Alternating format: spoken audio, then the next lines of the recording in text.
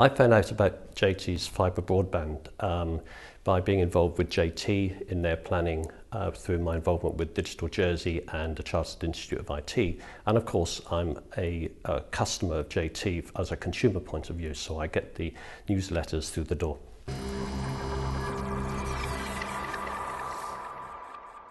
Before we had fibre connected, we were on an 8 meg copper connection through JT, and our experience was pretty good. The only problem we had was that we had to be careful if we wanted to watch a movie on iPlayer, for example, and Skype the family.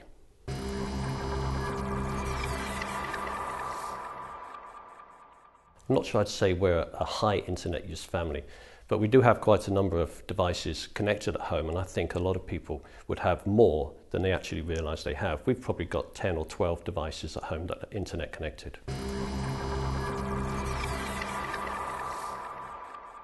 There wasn't an installation charge, and I didn't incur any costs. Um, in fact, I probably saved uh, a cost because my old Netgear Wi-Fi router was up for renewal. I needed to change that anyway, and uh, JT supply uh, a wireless router, so that's avoided that cost for me. We did upgrade our bandwidth, and we went from 8 to 50 meg, and that's cost us an extra one pound a month.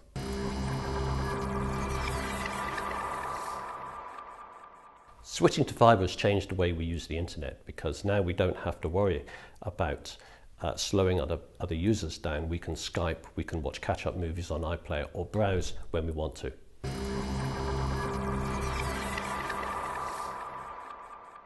The installation process was fairly painless. Uh, two engineers for about four hours on a Saturday afternoon. Um, they took time to understand where I wanted the wireless router, where I wanted the, uh, the fibre connection to go, and where I wanted my telephone. Um, and then they saw that as a challenge, and they did a really neat job.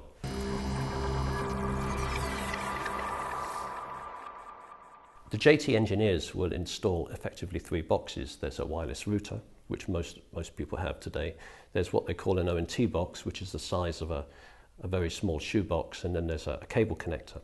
You need to think about where you want those situated in your house, and you also need to make sure that wherever they are, that there's a dedicated power socket for those.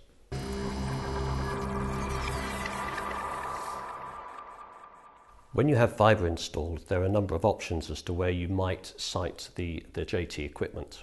Obviously, the, the wireless router, you'll put that in a central place in your house, and it's likely that you've got a wireless router somewhere in your house today anyway. But the, uh, this ONT box, think about where you'd have that. You could have that installed in your garage or under the stairs, for example.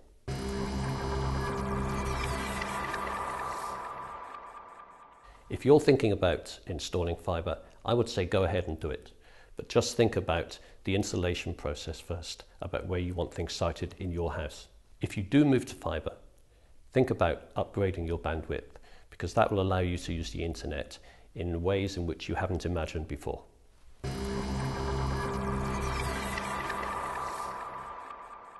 In summary, I'd recommend switching to JT Fibre. The installation process for us was, was painless and very good. Um, we had some technical issues because we were one of the first uh, houses to switch to the new 50 meg service, but JT have now resolved that and the service is running well.